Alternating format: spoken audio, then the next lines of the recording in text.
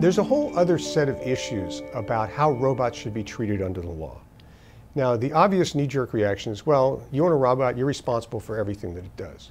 But as these devices become much more autonomous, it's not at all clear that that's really the right answer or a good answer.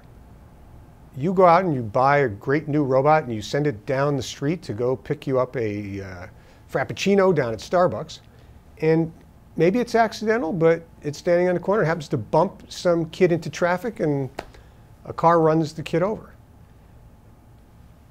The police come, they're going to come arrest you for this action.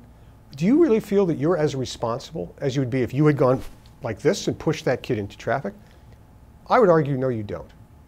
So we're going to need new kinds of laws that deal with the uh, consequences of well-intentioned autonomous actions that robots take. Now, interestingly enough, there's a number of historical precedents for this. You might say, well, how can you hold a robot responsible for its behavior? You really can, actually. And let me point out a couple of things. The first is, most people don't realize that corporations can commit criminal acts, independent of the people in the corporation.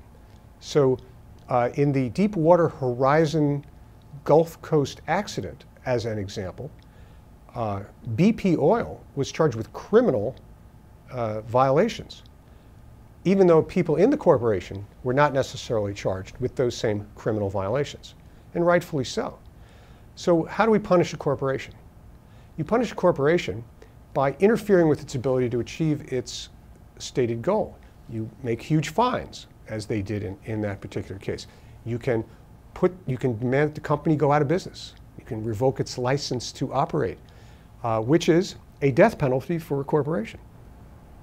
You can have it monitored, as they do in antitrust cases. Many companies, uh, IBM, Microsoft, I think, have monitors to make sure they're abiding by uh, certain kinds of behavioral standards. Well, that same kind of activity can apply to a robot. You don't have to put a robot in jail, but you can interfere with what it's, it's trying to do. And if these robots are adaptable, logical, and are learning, they'll say, oh, I get it.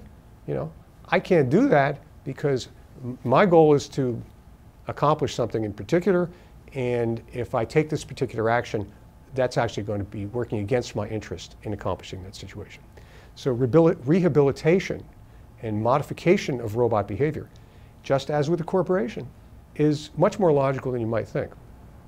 Now, another interesting historical precedent uh, is prior to the Civil War, there were a separate set of laws that applied to slaves. They were called the slave codes.